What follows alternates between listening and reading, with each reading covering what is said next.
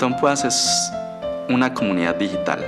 En este momento es un concepto amplio, un concepto donde es un, lugar donde las personas del cantón pueden ir a acudir y buscar información de hechos que pasan día a día. Recopila la historia, eh, las tradiciones, los eventos, las fotografías. Es un punto de encuentro para que se divulguen las opiniones de la comunidad poseña.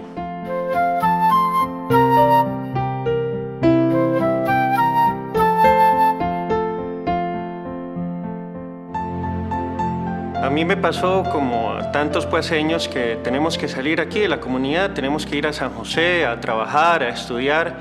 Y fíjese que por lo menos a mí cuando yo estaba por allá, eh, bueno, yo extraño mi pueblo, lo quiero mucho y comencé a pensar acerca de su identidad como tal, ¿verdad?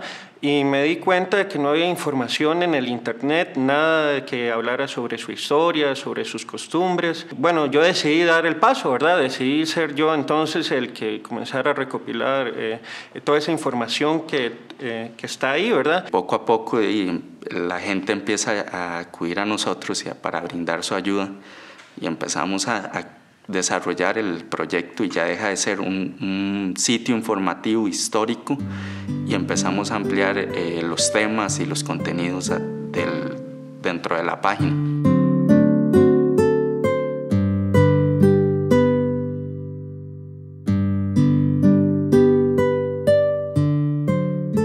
En Internet y en general hay muchos medios eh, similares a, a cantonpoas.com la diferencia entre esos medios y nosotros es que eh, de nosotros somos un grupo muy abierto, somos un grupo de eh, voluntarios, se podría decir, que se preocupa por, por su cantón y lo hace eh, de, solo por servicio comunitario.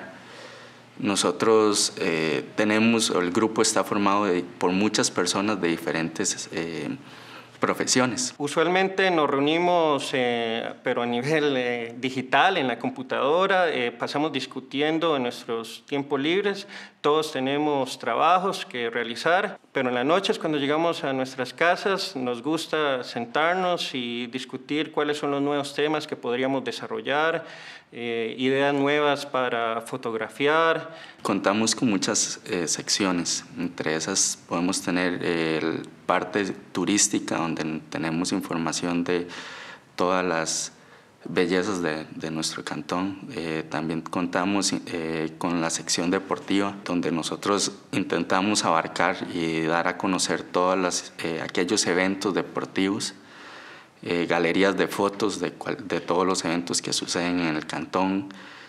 También tenemos información, bueno, aparte de la información histórica, también tenemos cartas a la columna que nos hacen a nosotros, digamos, de, cualquier persona del cantón que nos escriben, mira, queremos publicar esto, queremos hacer una reseña de tal cosa, entonces ellos nos la envían y nosotros las publicamos.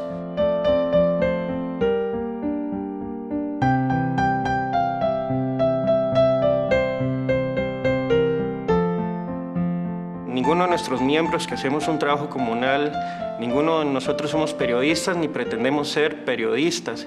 Sin embargo, eh, dado que hay un vacío, si se puede llamar así, de divulgación de denuncias por parte de algunos otros medios informativos reales, periodísticos, entonces eh, nosotros decidimos eh, asumir esa responsabilidad, ¿verdad? Entonces la gente ya nos conoce, ya sabe, cuando nos ven en la calle nos, nos, dicen, ah, mira, ¿qué pasa tal situación? Nos gustaría saber si nos puedes ayudar y nosotros, si es posible, siempre nos gusta publicar sus denuncias. Y entonces la gente siempre está pendiente de nosotros primero, antes de, que, antes de cualquier otro medio. Entonces siempre están como a la expectativa de que nosotros seamos los primeros en decir lo que pasa dentro del cantón. Tanto es así que a veces en los comentarios es de ahí, lo primero que hago en la mañana es ir y, revisar en la red social qué comentarios nuevos hay dentro de la comunidad, qué, eh, qué ha pasado dentro del cantón, quién dice qué, qué hacen qué. Entonces nos convertimos como en la voz del pueblo.